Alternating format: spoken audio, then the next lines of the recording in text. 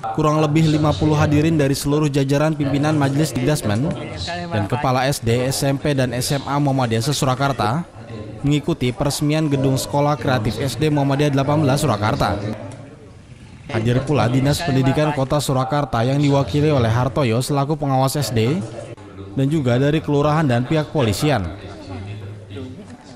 Kegiatan peresmian ini turut dihadiri Ketua Pimpinan Pusat Muhammadiyah Dalan Rais, sekaligus mengisi pengajian dan menandatangani prasasti. Siang sore ini saya benar-benar bergembira meresmikan SD Muhammadiyah 18 di Kota Solo yang mengusung dengan branding baru Sekolah Kreatif. Sekolah ini bangkit dari keterpurukan yang kemudian dengan semangat yang penuh kreativitas menjadi sekolah yang diminati oleh masyarakat luas.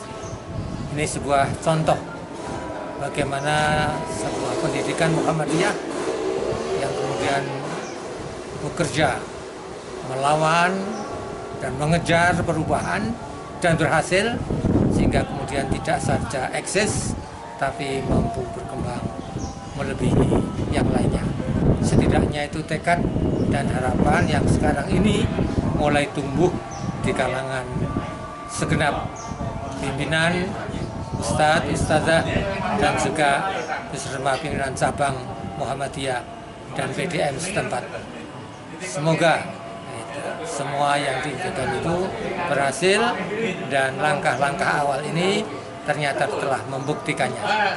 Saya kira itu dan PP Muhammadiyah bisa memiliki sebuah contoh gitu. Bagaimana sebuah sekolah bisa mengatasi kesulitan yang ada dan kemudian berjalan dan berlari untuk menatap masa depan. Hartoyo, perwakilan Dinas Pendidikan Kota Surakarta saat mengapresiasi dan berterima kasih atas sumbangsih Muhammadiyah yang begitu besar untuk dunia pendidikan, sekaligus berharap Sekolah Kreatif SD Muhammadiyah 18 Surakarta menjadi sekolah ramah anak.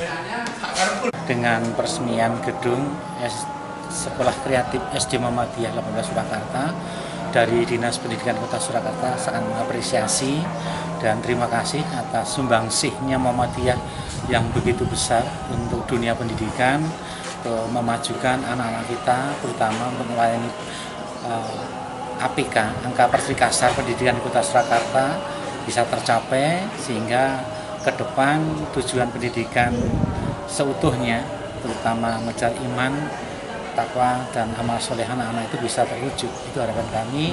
Dan ini satu salah satu embrio mudah-mudahan sekolah kreatif Muhammadiyah 18 Jakarta itu menjadi sekolah ramah anak.